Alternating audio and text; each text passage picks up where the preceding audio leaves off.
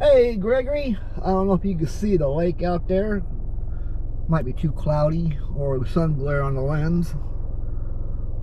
You see how it looks like glass, that lake, nice and smooth.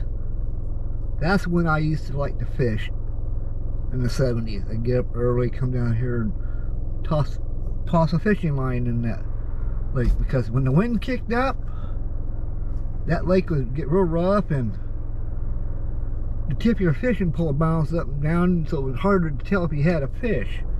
Alright, doing another video here of good old Lake Smell some more. Up here by downtown area.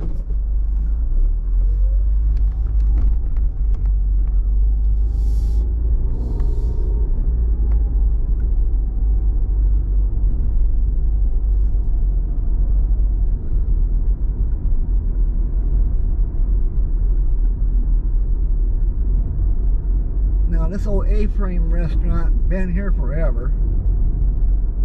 And this old Sonny's liquor store used to be called Sonny's. Now they call it Lakeshore. But straight up here where that car, that van and pickup truck was, used to be a row of buildings there. One was a little restaurant, some other shops, but they tore it down. I can't remember what year it was. And over here in this field, it was a bus stop bus bench. Yep.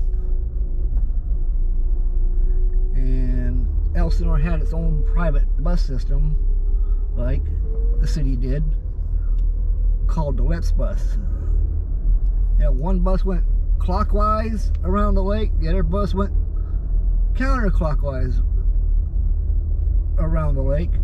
And there was a third bus that took you into Riverside. Okay.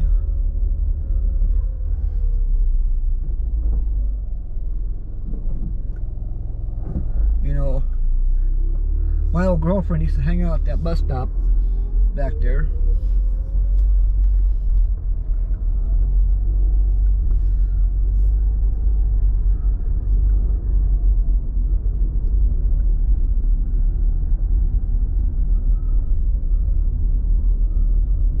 So, anyways,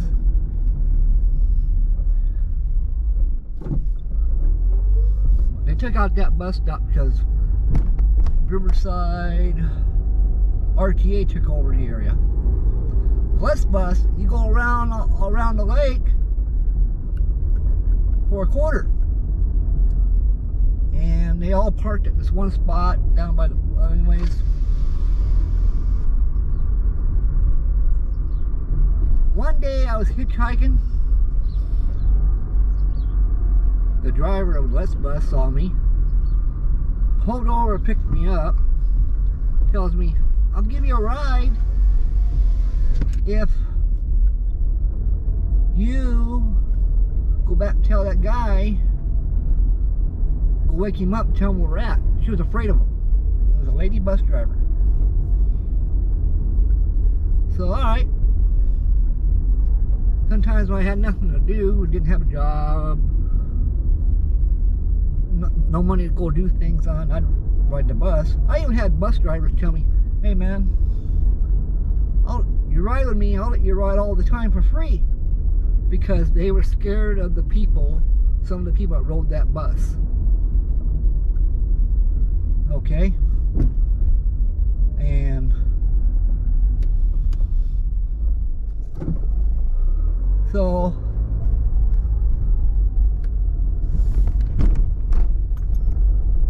they used me as their own private security or something. But true story. Uh, I can't remember where they kept the buses. One lady ended the shift, went to turn in the bus. There was a group of guys waiting there. She was so scared that she took the bus home yeah. She was afraid that she was going to be raped or something like that. You know, there's a lot of heroin addicts back then in Lake Elsinore and cocaine freaks. And, uh, so, then they had the crystal meth problem. When I was a kid growing up, the only thing I ever heard about was pot.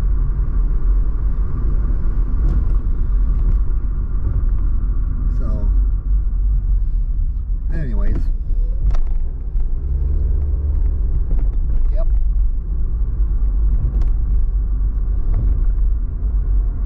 Yeah, have some in Lake Elsinore.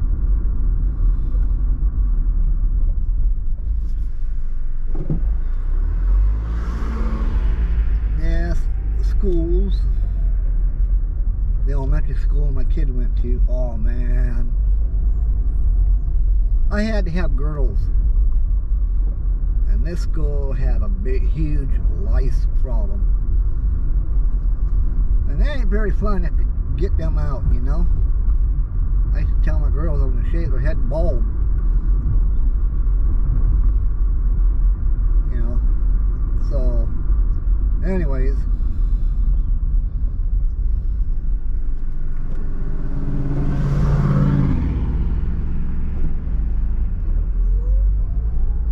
So, I went down there one time, I told them, man, they said get it. So I was like, I asked them because it's a problem. So can't you guys, when the school is closed, fumigate the school for lice? There used to be another Let's bus stop right here. And my ex-wife and her drug addict friends would hang out at that bus stop. The road was narrow back then. Okay, it wasn't as wide. And you see this big empty lot, Gregory? Right there? That was full of apartment buildings. Little small bachelor type places. You know. Had a living room. Then you had another room you used at your bedroom and a small kitchen. But I think the cops got that place tore down because it was drug infested. I mean, they even built private yards, put fences, wood fence between the buildings, trying to maybe keep the drug traffic down. Yep.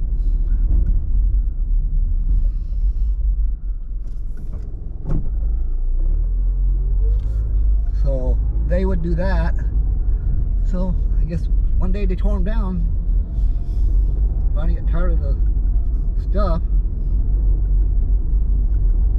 And that group of buildings there, I just you saw on my right when I made that left turn. Well, they had a problem with that. They almost got shut down, but they did some remodeling on the buildings. I think they cleared them out.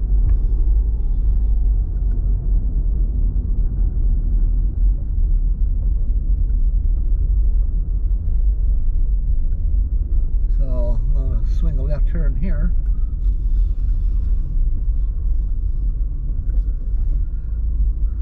I don't know if you can see this big empty field here on the left.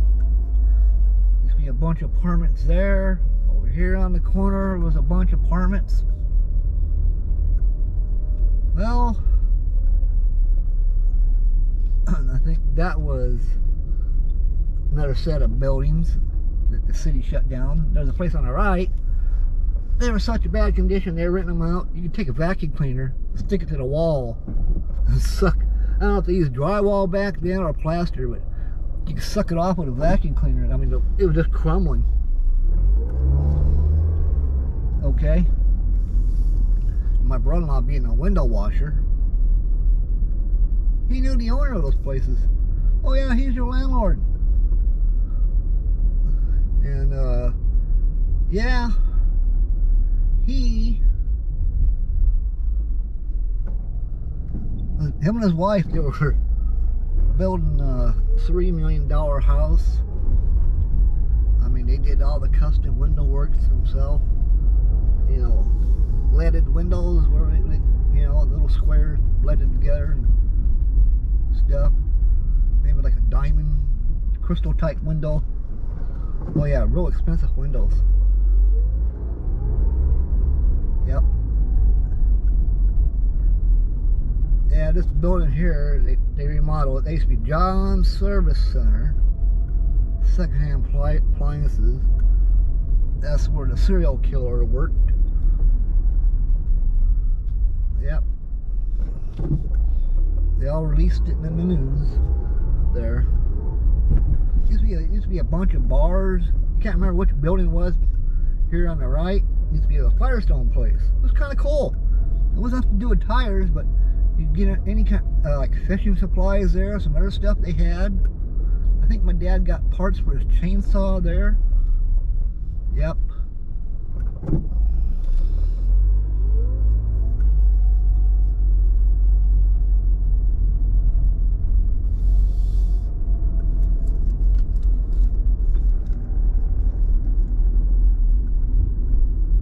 That's the old House of Chimes. They call it the House of Chimes. Uh, see all the cars are parked here on the right?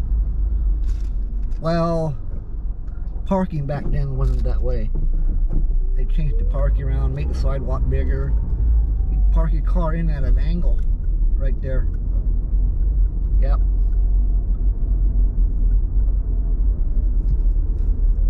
This was the outflow channel for the lake during the 1980 when it flooded over. They cut the town in half with a backhoe. And they built uh, a little tiny bridge. No cars can go through it, cross it. So they had to, this where people could walk. I don't know who it was, but the guy and his wife was pretty uh, well known. I don't know if it was him or his wife did it. They had a little sports car. They tried